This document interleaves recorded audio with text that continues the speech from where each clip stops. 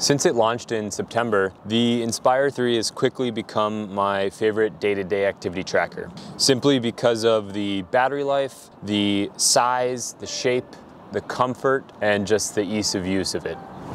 It's taken some of the features of the Charge and the Luxe, which have been out for a little while now, and it's just put it into a much slimmer and sleeker package overall. The way I'm gonna boil this review down is into two halves. The first half will be a little bit of a comparison to some of the other Fitbit ecosystem products. So like the Charge and the Luxe and the Inspire 2 that came before it. The second half, I'll go a little bit more in depth into my long-term ownership of the device. If you are interested in some of the other Fitbit products, uh, I've done videos in the past. The last video I did, I'll link up here. It compares the Charge 5, the Luxe, and the Inspire 2. So if you want a little bit more in-depth detail of those other two, I'd recommend checking that out. The first thing you should really know about the Inspire 3 is it's a more bare bones tracker.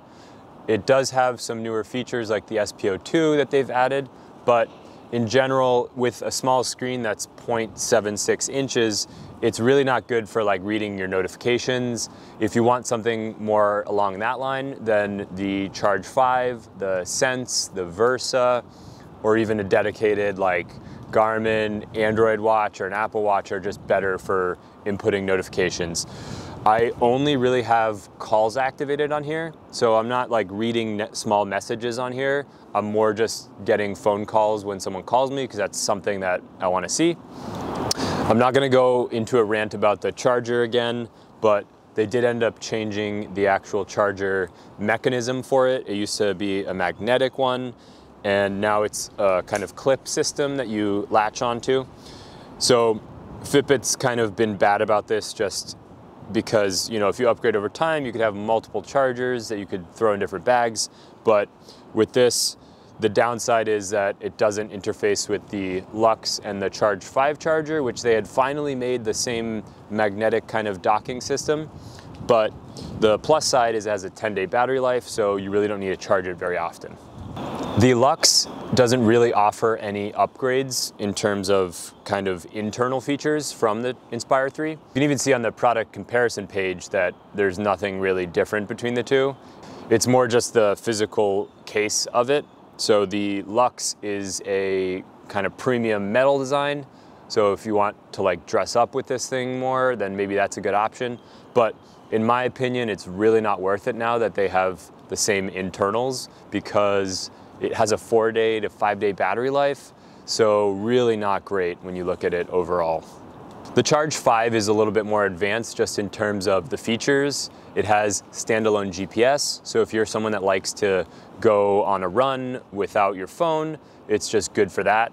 I personally always have my phone tethered because I want to have like music playing or something, which the Charge 5 doesn't have offline music. So if the GPS feature is really necessary for you, then the Charge 5 would be the one you should get, or the Sense or Versa. The Charge 5 also has an ECG sensor. This only has the, you know, does your heart rate, but it also has SpO2, so your blood oxygenation. If you're looking at these devices for like the SpO2, the EKG, the ECG, you really shouldn't be using them as a medical device. These are just good for like the variability of your heart rate, and they're kind of just more like baseline features. I wouldn't use them as a medical device because the wrist is really not the best place for that. Your fingertip is way better. So it really depends when you're watching this video, but the Inspire 3 you can find sometimes as low as like 75, the Luxe, you can get a little bit over 100 if it's on sale, and the Charge 5, you can kind of get in the 120, 130 range if it's on sale. So look out for like Black Friday, the Prime days, these tend to go on sale pretty often.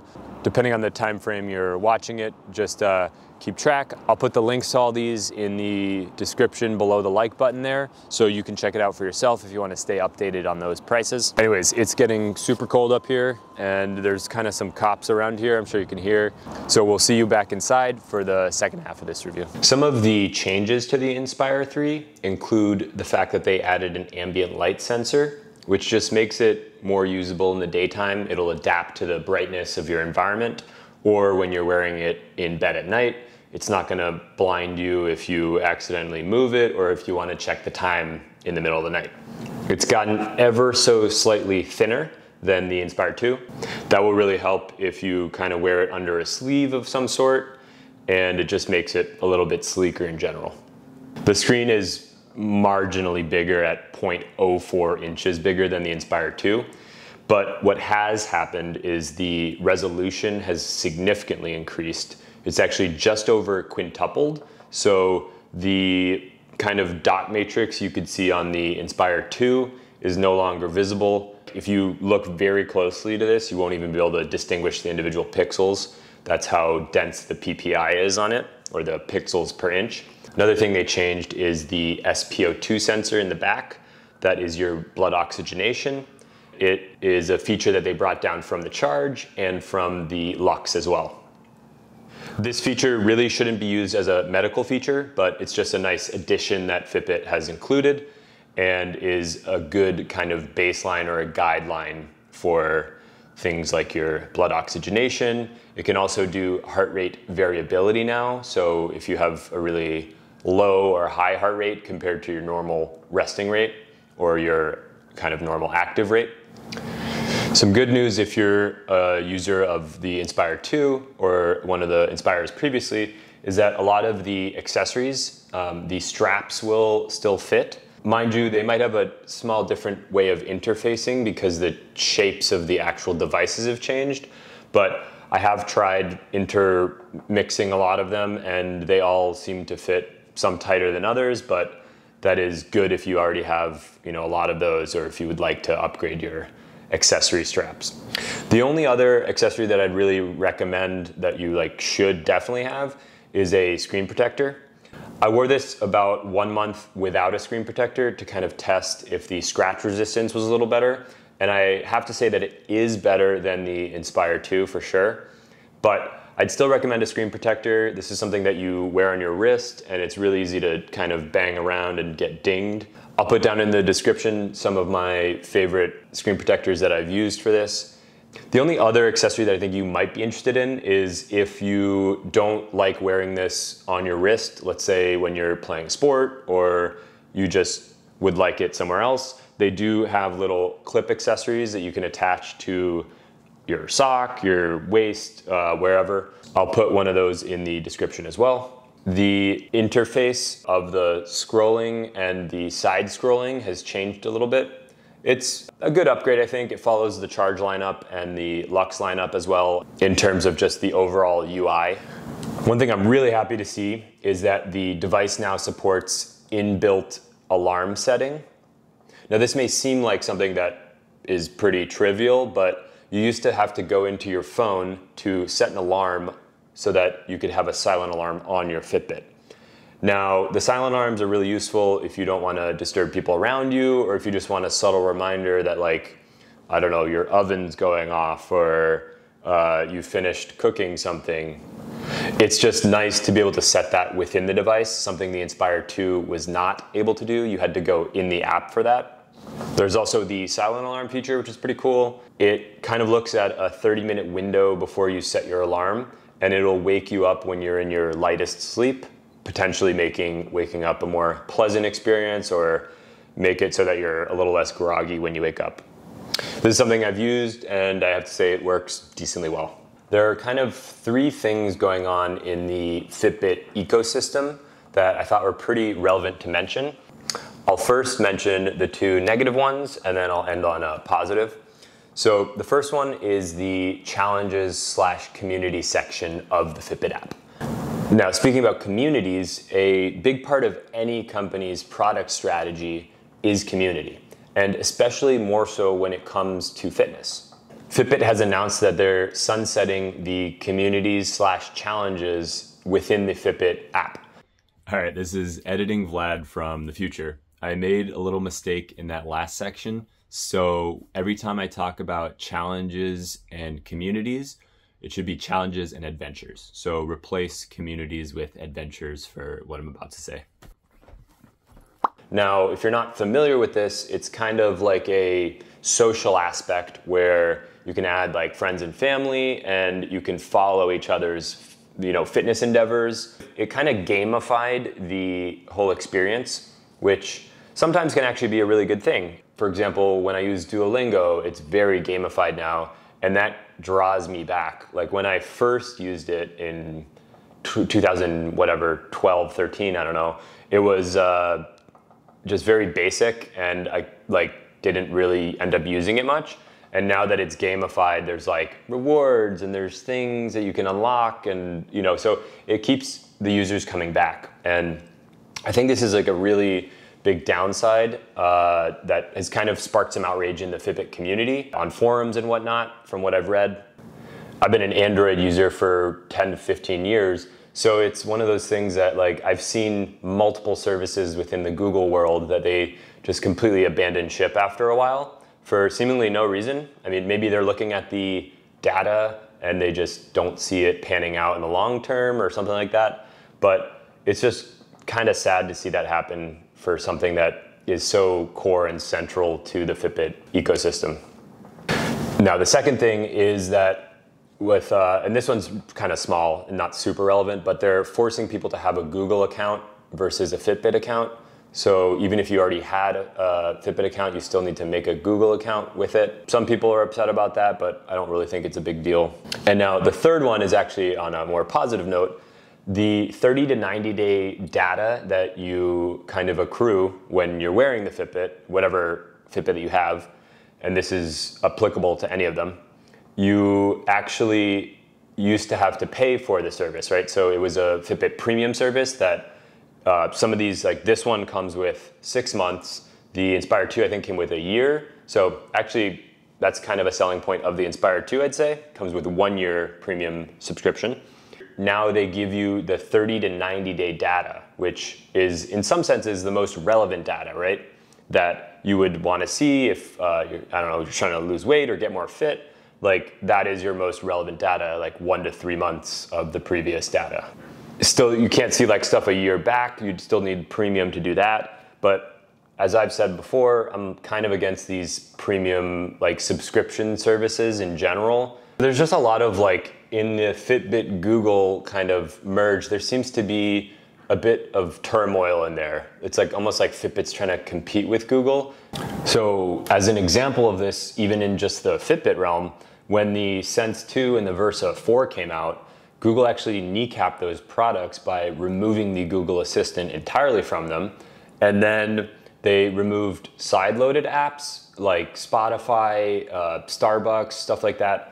It, so essentially, if you're a Versa 3 or a Sense user, by upgrading, you're actually kind of downgrading. It's a very weird move, like unless you were to get a Pixel Watch, which then you get all those features. So there seems to be some like tension going on between their own ecosystem, especially with the challenges feature and the now to have a Fitbit, you need to have a Google account kind of thing. It's just a little strange. I think they need to kind of have a more cohesive vision for their their ecosystem. The auto activity tracking is great. And if I go for a run, it'll track it perfectly. I've done videos in the past where it, uh, you know I've measured like on my phone versus on my Fitbit, the distance um, and how they compared to each other. And it was pretty similar. One thing I do set the activity tracking for is swimming. That's a little bit harder to auto detect, I think, just because the sensors get all messed up with water. I love the swimming feature because it adds your kind of lap counter and it gives you your stats when you're underwater, which is cool. Also, speaking of swimming with the device, I feel like sometimes when I get out of the pool and I'm looking at my device, it would be nice to like it has a gyro in there, right? So when I flip up, it'd be nice if it told me sometimes like the lap count. That's something they could upgrade. It will seldomly tell you the actual time elapsed since you've been swimming. Most of the times it just tells you to double tap the screen to finish the activity, which is a little annoying. I feel like when you lift it up, it should tell you like your stats, and then you can continue, or you can then go squeeze it or double tap it and then end it yourself. That's just a kind of repetitive thing that I'm not really into. I don't run very often, but I do play a lot of sports, and the auto tracking for activities like that is good in the sense that it'll start like a cardio activity of some sort. It sometimes gets a little confused on what it is, or it'll just log it as like cardio, but it's good at tracking that you're actually doing something. So if you want to go in and look at like stats of that activity, it's good, but to differentiate a lot of the sports, it's like super difficult, right? Because basketball versus soccer versus tennis, like how are you really going to know the difference on auto activity tracking? That's pretty tough to do. For biking, I don't really recommend this because it links to your phone anyways. I like to use Strava because it's very accurate and that actually does have a community feature. So I can, you know, go on rides with friends and it'll merge our rides. Uh, I can see some of the social activity of my family and friends and I can go back and look at like all the, the data if I want and it's it's just nice. So for biking, I recommend that. It's a free app and works super well.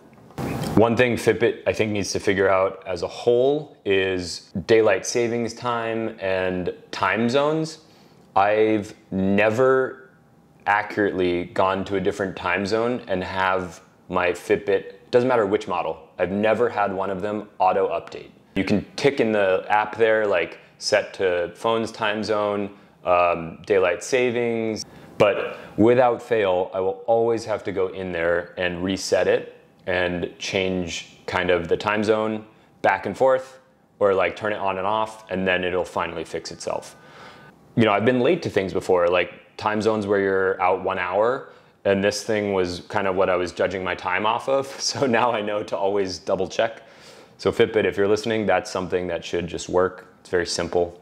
One thing I did notice with my Inspire 2 that I had for about a year and a half before I switched was that I would take it in the sauna maybe a couple times a week or once a week, and um, the battery life did significantly deteriorate over time. So the heat kind of fluctuation is not good for the device, and it's something I've just really never thought about in the past.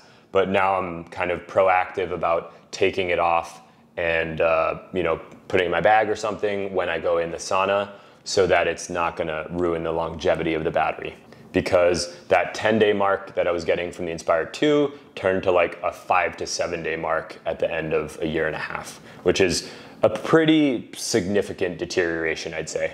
Also, rest in peace to this chain that I'm wearing in here. That, that is somewhere lost in between the wooden slats in the sauna now. Anyways, if you'd like to see more Fitbit content in the future, please stay subscribed for that. And if you'd like to see something currently uh, I have a video that I did here on the Charge 5, the Luxe, and the Inspire 2, which you can watch. So anyways, thanks for watching, and I'll see you in the next video.